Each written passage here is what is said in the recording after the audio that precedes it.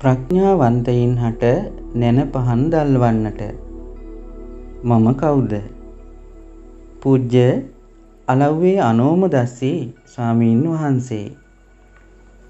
පිදුම බුද්ධිමත්ව ਵਿਚාරශීලීව සිතන ඔබට මේ ග්‍රන්ථය උපකාරයක් පිණිස ඉදිරිපත් කරමි.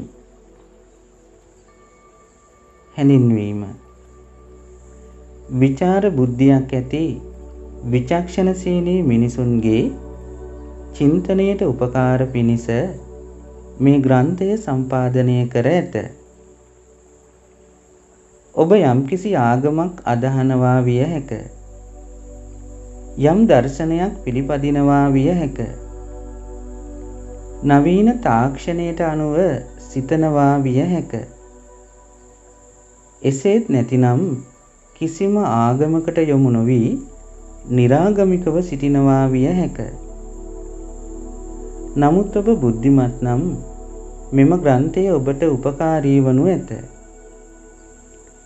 තම ජීවිතය පිළිබඳව විචාරාත්මකව චින්තනය හසුරුවන ඔබට මෙම ග්‍රන්ථය පිටිවහලක් වේ. එම නිසා ඊටාම හොඳ අවධානයකින් මෙම පොත පරිශීලනය කරන්න. මෙම ග්‍රන්ථය තුළ ජීවිතය පිළිබඳව සිතන කෙනෙක් කල්පනා කරන ආකාරය ඇත. එසේ කල්පනා කරන විට සිතීමේ ක්‍රමයට යමක් නොවැටහීම නිසා ඇතිවන අසරණකමට උපකාර කරන කෙනෙක් ඇත. මේ ග්‍රන්ථයේ අඩකට වැඩි කොටසක් තුළ දෙදෙනෙකුගේ සංවාදයක් ඉදිරිපත් කර ඇත. මේ සියල්ලම මනාව වටහාගෙන බුද්ධිමත් ඔබත් විචාරශීලීව මෙම ග්‍රන්ථය පරිශීලනය කරන්න.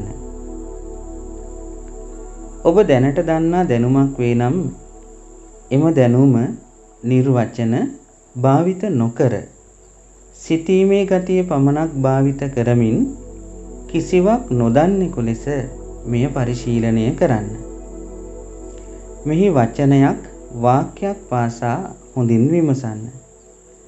මෙහි අසන ප්‍රශ්න ඔබ තුළින් විමසා බලන්න. එයින් ඔබට බොහෝ උපකාර වනු ඇත. මේ ග්‍රන්ථය සම්පාදනය කිරීමෙහිදී උපකාර කළ සියලුම දෙනාට තවදුරටත් සත්‍යවාදීව විචක්ෂණය සිදු කිරීමට හැකියාව ලැබේවා. පූජ්‍ය අලව්වේ අනෝමදස්සේ ස්වාමීන් වහන්සේ.